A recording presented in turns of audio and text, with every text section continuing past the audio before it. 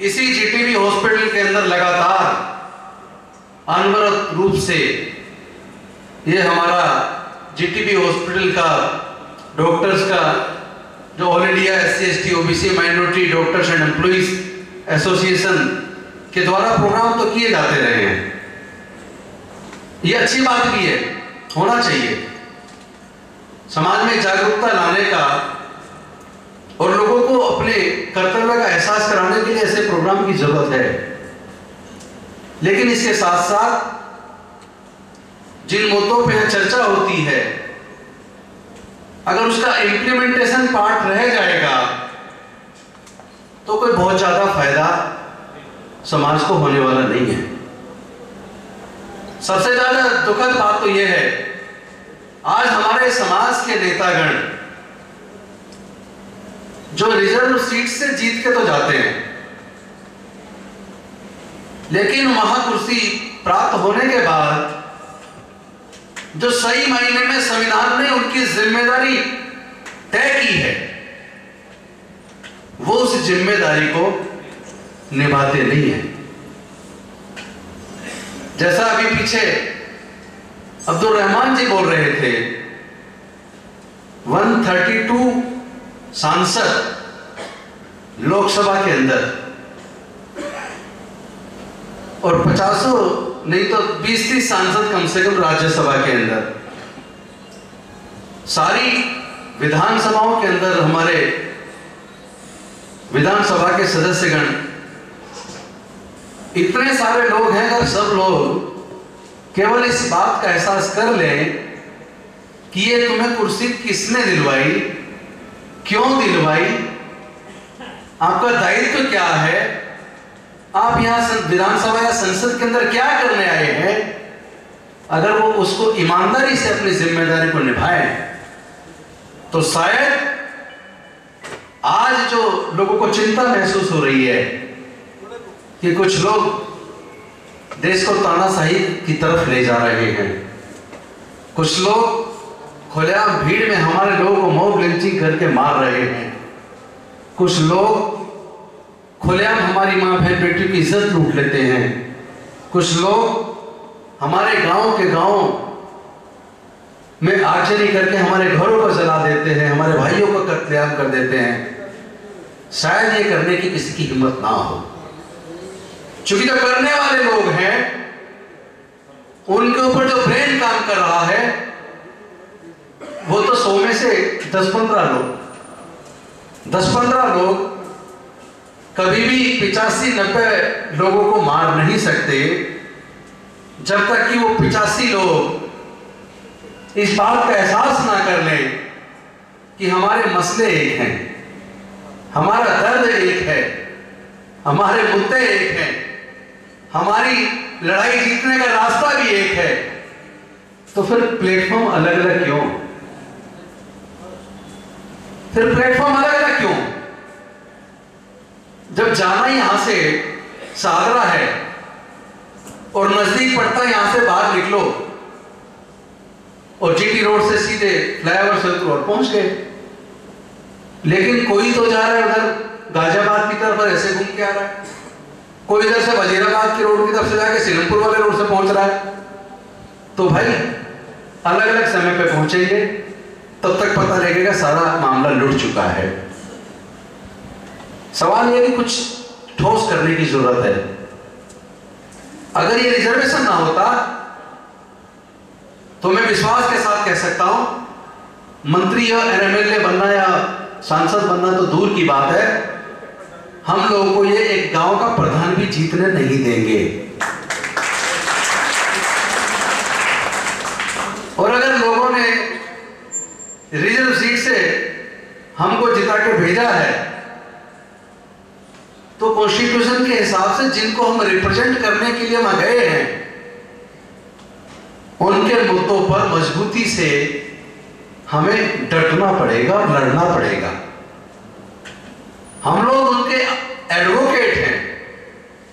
संसद के अंदर या विधानसभाओं के अंदर अपने समाज के मुद्दों के ऊपर हमने लड़ाई लड़नी है। पर दुर्भाग्यपूर्ण बात यह है कि लोग हमारे जाते रिज़र्व से सीट से जीत के हैं और वहाँ जाने के बाद गुलामी शुरू कर देते हैं। उनकी पूरी ताकत, पूरी ज़िंदगी अपनी सीट और कुर्सी को बचाने पर लग जाती है। मान लो कुर्सी मिल भी गई, एमपी, एमएलए बन गए, मंत्री बन गए, उसके बाद क्या? वो तो बन गया। उसके बाद क्या? एक बार बन जाओ, दो बार बन जाओ, दस बार बन जाओ, उससे क्या फ़र्क पड़ जाना है? महत्वपूर्ण यह जब आप बने तो बनने के बाद आपने उस समाज के लिए क्या किया? आपने उस समाज को क्या लौटाया? ऐसे कौन से कानून या कौन सी नीतियाँ आपने वहाँ सरकार के ऊपर दबाव डाल के बनवाई, जिससे हमारे समाज का भला होना है, हमारे समाज का विकास होना है?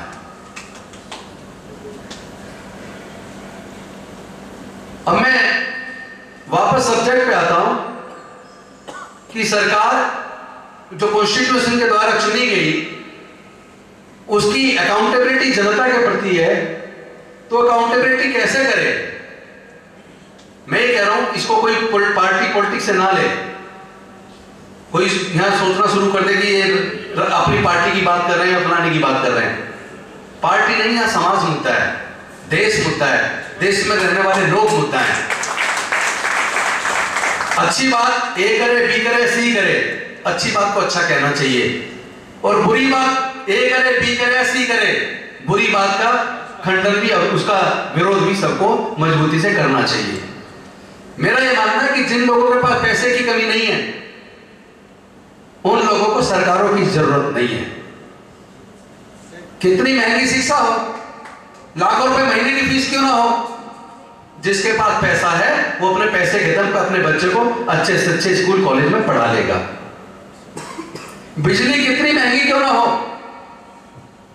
उसे किसी रियायत की ज़रूरत नहीं है। वो अपने पैसे के दम पे बिजली खरीद लेगा। या खाने की सामग्री या दूसरी चीज़ें या इलाज। कितना ही महँगा क्यों ना हो?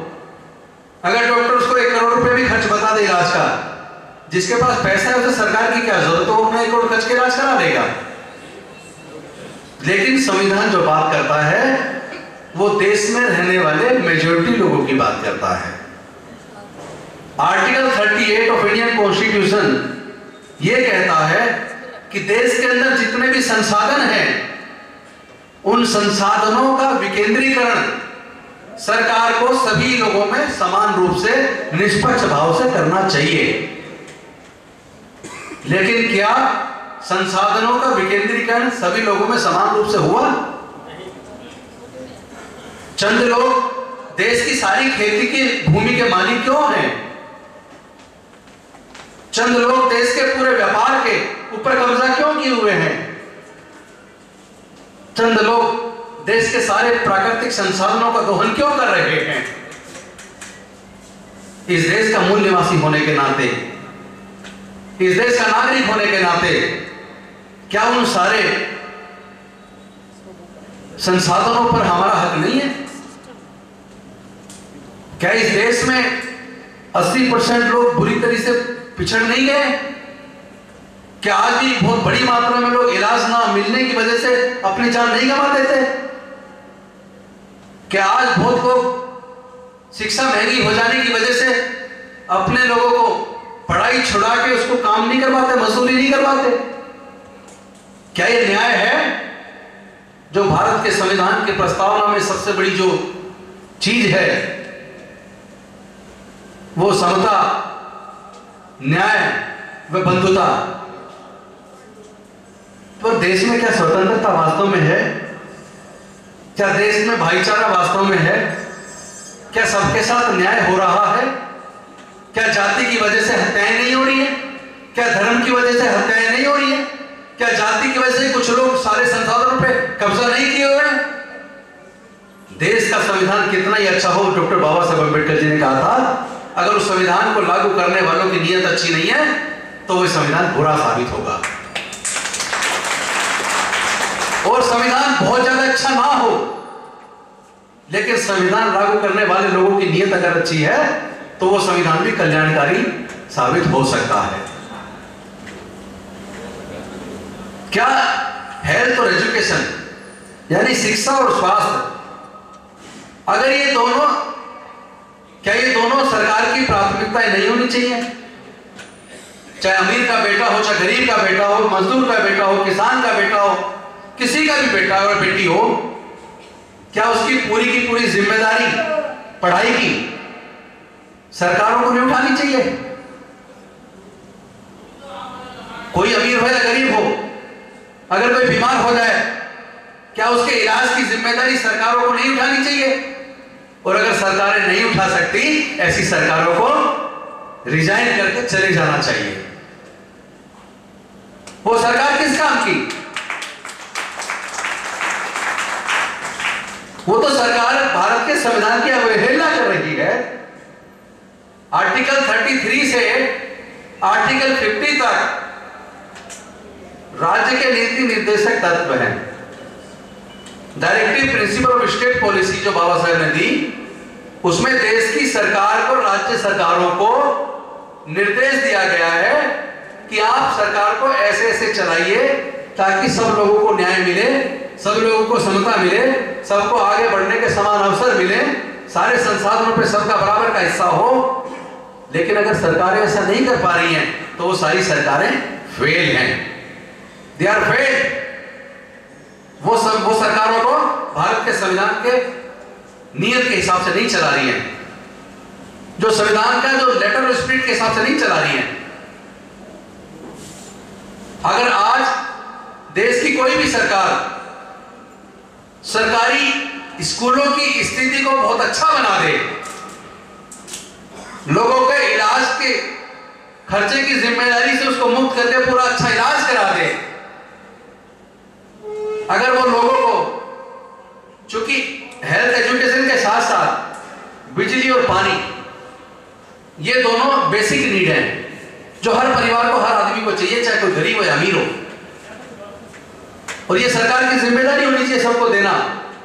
अगर कोई सरकार लोगों को बिजली और पानी मुफ़्त दे दे, तब समझिए कि वो वास्तव में जनता की सरकार है और वो बाबा साहेब के संविधान के हिसाब से चल रही है। और जो सरकार ऐसा नहीं कर रही है, वो सही मायने में directive principle of state policy की अवहेलना कर रही है। वो भारत के संविधान की अवहेलना कर रही है। और किसी भी सरकार की जनता के प्रति जवाबदेही होती है, भारत का संविधान तय करता है। लेकिन सरकार चुनने के, जीतने के बाद अगर वो अपनी जवाबदेही से भाग जाए, अगर वो हर चीज़ के दाम बढ़ाना शुरू कर दे, चूँकि ये मैं एक एग्जांपल देके बताऊँगा। जब भारत आज़ाद हुआ उस वक्त, तब तो कोई पब्लिक स्कूल नहीं होते थे। अमीर हो या गरीब हो, राष्ट्रपति हो चपरासी हो, प्रधानमंत्री हो मंत्री हो या नेता हो, अभिनेता हो, कोई भी क्यों हो या बिजनेसमैन हो, सभी के बच्चों के लिए सरकारी स्कूल थे। और सरकारी स्कूल में पढ़ाई सबके लिए एक जैसी थी। पक्षपात तो होता था, टीचर करते थे, पर वो पक्षपात ऐसा होता था, कोई दलित का बच्चा है, पिछड़े समाज का बच्चा है, आदिवासी है माइनॉरिटी से उसको पीछे बिठा दे टीचर। अपने पसंदीदा बच्चे को आगे बिठा दे इस तरह का तो पक्षपात था। लेकिन जब टीचर ब्लैक बोर्ड पर पढ़ाता था, पढ़ाता तो सबको एक ही था ना। जिस बच्चे में लगन होती थी, वो उससे सीख लेता था और अपने आगे बढ़ने का रास्ता बना लेता था। लेकिन क्या ये सच नहीं है? अगर इसी तरह सरकारी स्कूल चलते रहते, प्राइवेट स्कूलों को खोलने के लिए बिल्कुल इजाज़त मिलनी नहीं चाहिए थी। अगर हेल्थ पूरी तरह सरकार का दिन होता। पर प्राइवेट क्लिनिक या हॉस्पिटल बनाने की इजाज़त होनी नहीं चाहिए थी। सबको समान रूप से समान शिक्षा, सबको समान रूप से स्वास्थ्य सेवाएँ। सरकार खुद अपनी ज़िम्मेदारी पर उठाती, खर्चा पूरा। तो देश तरक्की करता। लेकिन सरकारों ने जानबूझ के पब्लिक स्कूल खोलना शुरू किया और सरकारी स्कूलों के स्तर को गिराना शुरू किया। और शिक्षा इतनी महँगी हो गई, जब प्राइवेट स्कूल खुलते चले गए, खुलते चले गए, सरकारी स्कूल कमज़ोर होते चले गए, हालत यह है कि पिछले पंद्रह सालों के अंदर, देश के अंदर एक लाख से ज़्यादा सरकारी स्कूल बंद हो गए। ये सरकारी आंकड़े बोलते हैं। तो क्या पिछले पंद्रह सालों में देश की जनसंख्या कम हो गई है? जनसंख्या तो बढ़ रही है। तो जब जनसंख्या बढ़ रही है तो सरकारी स्कूल बढ़ने चाहिए थे, लेकिन एक लाख से ज़्यादा सरकारी स्कूलों का बंद हो जाना और पाँच लाख से ज़्यादा प्राइवेट स्कूलों का खुल जाना। यही सोच इशारा करता है कि सरकारों ने पूंजीवाद को बढ़ावा दिया। सरकारों ने एक सेक्शन ऑफ़ सोसाइटी को, जो दलित, पीड़ित, पिछड़े, गरीब, उनके बच्चे पढ़ लिख के कहीं काबिल ना बन जाए क्योंकि अगर उनके बच्चे अच्छे शिक्षा मिलेगी अच्छा स्वास्थ्य मिलेगा पढ़ लिख के काबिल बनेंगे तो इनकी फैक्ट्री में मजदूरी कौन करेगा? इनके खेत में मजदूरी कौन करेगा? इसलिए हमारे लोगों को मजदूर बनाए रखने के लिए जानबूझकर नो डिटेंशन पॉलिसी भी लागू कर दी कि किसी को फेल मत करो, पहली से और आठवीं तक ऐसे ही पास कर दो। तो ये जो देश की बर्बादी की है, ये किसी और नहीं, देश में जो सरकारें रही हैं, उन सरकारों ने खुद की है। आज जनता को तय करना चाहिए। जनता को सोचना पड़ेगा, कौन उनके फेवर में है, कौन उनके खिलाफ है। कौन बाबा साहब के संविधान को पसंद करता है, कौन मनुस्मृति को लाना चाहता है। मनुस्मृति में देश का भला है, या डॉक्टर बाबा साहेब के संविधान में देश का भला है? ये देश के लोगों को तय करना पड़ेगा। और सरकार को हर कीमत पे अकाउंटेबल बनना ही पड़ेगा। लेकिन इसके लिए जनता को तैयार होने की ज़रूरत है। अगर जनता तैयार नहीं है तो सरकारें कभी भी अकाउंटेबल नहीं बनेगी। वो अपनी मनमर्जी करेंगी, तानाशाही करेगी और अपने हिसाब से पॉलिसी बनाएँगी। गरीब गरीब होता चलाएगा, जैसा आज देश में हो रहा है। गरीब गरीब होता चला जाएगा और दो चार पैसे वाले पूरे देश की सत्ता पे और धन पे, संपत्ति पे बिज़नेस पे काबिज हो जाएँगे। आज एक तरफ़ अंबानी है जिसकी दस लाख करोड़ की संपत्ति हो गई है। कल के अखबार में पढ़ लेना। दस लाख करोड़ की।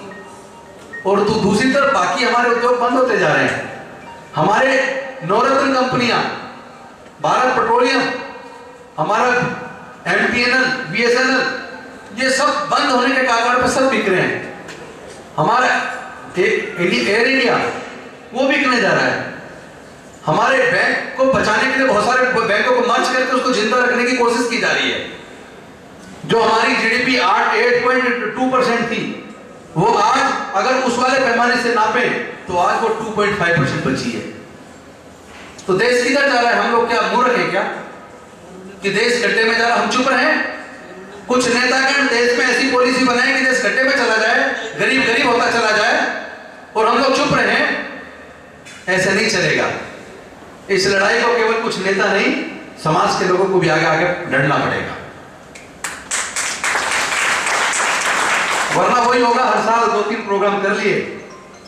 हम जैसे कुछ लोग बुला लिए, भाषण दिलवा दिया और बात केवल जय भीम करने से काम नहीं चलेगा, जय हिंद, जय भीम को अपने अंदर अंगीकार करना पड़ेगा। आत्मसात करना पड़ेगा। एक तरफ़ हम बाबा साहेब की बात करें, बुद्ध की बात करें, न्याय की बात करें, और फिर अपने समाज के अपने लोगों के साथ हम अन्याय करें। और जहाँ अपने समाज के हक हकूक की बात है वहाँ चुप हो जाए। पार्टी की लाइन है इसको चुप रहना बोलना नहीं है। ऐसे सारी लाइनों को तोड़ना पड़ेगा। ये तोड़े मेरा काम नहीं चलेगा। राजनीति आएगी, जाएगी, कुर्सी आती रहेगी जाती रहेगी। जब तक लोग तय नहीं करेंगे, हमारे नेतागण, ये कुर्सी बड़ी चीज़ नहीं है। मानवता बड़ी चीज़ है। समाज बड़ी चीज़ है। देश बड़ी चीज़ है। जब तक हम ये, इसके लिए अपना आप को तैयार नहीं करेंगे, काम चलने वाला नहीं है। ये बात मेरे खुद के ऊपर भी लागू होती है और हमारे साथी मेरे भाई दिगान साहब पे भी लागू होती है।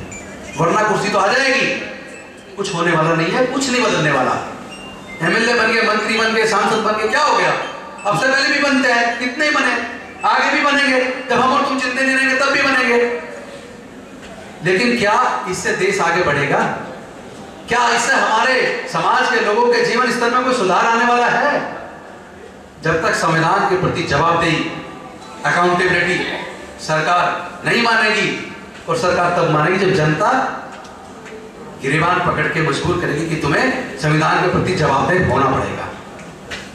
इसके बिना कोई, मुझे लगता है डेमोक्रेसी का कोई मीनिंग नहीं है। इसके बिना कोई मानवता का कोई मीनिंग नहीं है। ह्यूमैनिटी और डेमोक्रेसी बिना इक्वालिटी बिना जस्टिस बिना ब्रदरहुड इसके कुछ नहीं है, इसका कोई मोल नहीं है। भारत के संविधान की प्रस्तावना केवल प्रस्तावना रह जाए और सरकारें अपनी मर्ज़ी से संसाधनों का दोहन करती रहें। मुझे लगता है ये अब स्वीकार नहीं करना चाहिए। हो सकता है कल को, जैसे रामदेव जी तो हमें कही रहे हैं कि अर्बन नक्सली है ये केंद्र में जो सरकार है, ये भी हमें अर्बन नक्सली करके जेल में डाल सकती है। उसको पूरी आज़ादी इस बात का डर भी नहीं है। हम जेल जाने के लिए तैयार हैं। हम मन से तैयार बैठे हैं। जब चाहे तब डाल देना। लेकिन ये समाज की लड़ाई लड़नी पड़ेगी। कभी ना कभी तो लड़नी पड़ेगी। तो अब तुम सोच लो दोस्तों, कुर्सी बचाए या समाज का मान सम्मान? मैंने तो रास्ता तय कर लिया, मान सम्मान बचाना समाज का। कुर्सी रहे या ना रहे? धन्यवाद, जय जय भारत, नमो बुद्धाय। अगर आपने अभी तक हमारा चैनल सब्सक्राइब नहीं किया है तो सब्सक्राइब करें और घंटी का बटन बिल्कुल भी दबाना ना भूलें, ताकि सभी लेटेस्ट खबरें पहुँच सकें आप पे सबसे पहले।